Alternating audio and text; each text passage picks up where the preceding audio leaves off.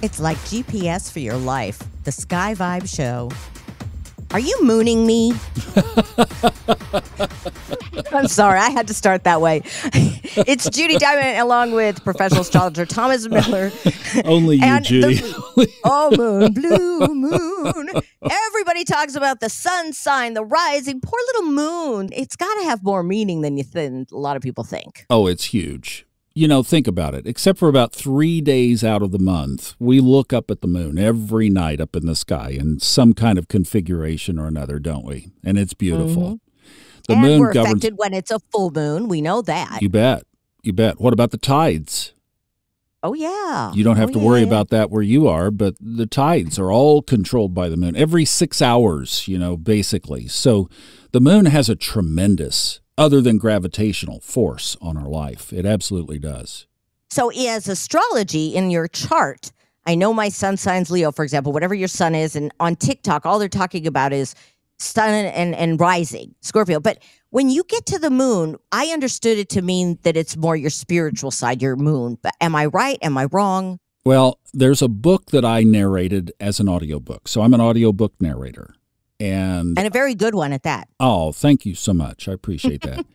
Steven Forrest is the author. He's one of the prominent astrologers on the planet today, and I just feel so honored to have done five, six books, six books for Steve now. And the Book of the Moon happens to be the latest one. Now, that's not why we're doing this podcast, but I just to mention this is so fresh with me right now. And on my fun No, we're doing it because I asked you about it. yeah, you wanted to know. On my I want to know. well, on my Fun Astrology podcast, which we've cross talked about on here quite a bit, I have an interview that is posted on early May. Just look early May 2024 with Steve on the Book of the Moon. And I interviewed him for 30 minutes, and it's a great interview. So that you should listen to that for sure if you're interested in this. And the book is an absolute classic treasure of information on the moon. So he talks about a lot of astronomical and astrological facts and data about the moon in the first several chapters. For example, let me give you a little technique. Have you ever heard of Okay. something called the void of course moon? I've heard you talk about it. I never understood what it meant on your show. Okay, so the moon change moon's the fastest moving item on the astrology chart. It changes signs or pieces of pie every about two to two and a half days in its 27.3 day orbit around the Earth, just to be Wow. precise. So it changes signs every about two, two and a half days. Depends on. Yeah, I'm not So if you don't like one, just wait a couple di- times. Kind of like the weather. And you know, a lot of people follow that because they know that an Aries moon for those couple of days get stuff moving, hammer it out, Mhm. push stuff forward. Taurus, grounding, time to get more stable, like hold back, don't push forward so much. Gemini, multiple projects. That's those are your multitasking days right there. And you can literally draw energy from the field, if you will, into the wherever the moon is at that given time. Well, when the This moon is fascinating to when me. the moon leaves a sign, so let's say it's getting ready to leave Gemini, and now the next sign it's going to go into is Cancer.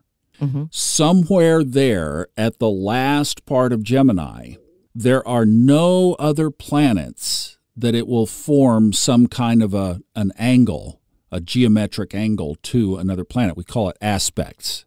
So then it's just moving through Gemini with no other planets influencing it. It's not kissing anybody else on the way out the door, so to speak. So does that make it pure Gemini? no, but I'll. oh my. Okay. The o- the only way I does it can think of it to say it's it's impotent. Yes, exactly. I was just kidding. That's why they call it a blue moon. Get it? It's well, no, Sorry. that's not why. The moon is impotent. After it's kissed its last planet on the way out, it's kind of mm, limp. You know, it's kind Oh. of just there, and it doesn't. it has have, less power. Yeah, no catalyst. And actually, one thing that Steve really that this is interesting that he points out because a lot of people believe today in manifesting and shifting realities and all this stuff has Right. been big topics these days. hmm Well, the moon, in kind of the metaphysics of this all, uses the energies use other planets to create things. So, yes, we can trigger things from the moon, but not unless it has help from Pluto or from Mars to really get something going, or love. We want Venus at the table, that kind of thing. Mm-hmm. But in but just as it's leaving the sign, there's that little period where it needs the little blue pill, and it's not going to get it until it gets into the next sign. So, in other words, when something is now void of, when the moon is void of course, when it's limp, biscuit, Who knew we were going here? That's okay. Everybody's a big boy and girl. Do what? Is it is it good then or no, bad? Or no, it actually is a dead time. It is. It's like you you know, like if you've been out at the ocean, the tide goes out and then there's slack tide, and then the water so, starts to rise again. So it's during. So, it's like a slack tide. Now all I can think about is is the blue pill. Okay, um, come back, so Judi. Come back. I know, I know. Sorry, my head is all over the place. So wait a second. It's during that time that maybe you'd want to meditate, lay down low. Or, oh yeah, or... that's very good time for that. For like just personal stuff, getting things done, etc. What you don't want to do is get married during that time. Oh, what you do want to do during that time is is mail your taxes. Ugh. Go to the post office during that time or if you e file, click to send e file. Why? Because yeah. you don't want something to happen after that. You want to just mm. do that activity and that's it. You don't want any follow up. That's a perfect time for that. What, what about if, doing something like writing? Let's say you want to write something. Is that a good time, time to, to, write or no? No, take a break. Okay. Take a break. You want that inspiration of after it moves into the next sign. Okay. And how long does this usually last? It can last from literally less than an hour to up mm-hmm. to 15 or 20 hours. It just totally wow. depends on the sky at, the, at any oh, given oh, wow. time.